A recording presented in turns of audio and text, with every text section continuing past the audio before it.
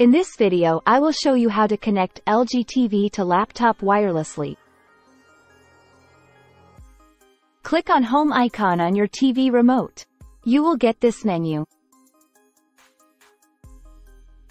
Go and click on Screen Share option as shown here.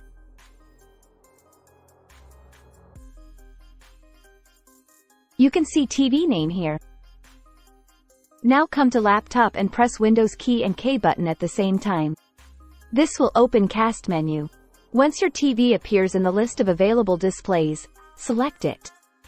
Then click on duplicate to mirror screen. Then your TV may prompt you to accept the connection request. Use your TV remote to accept the request.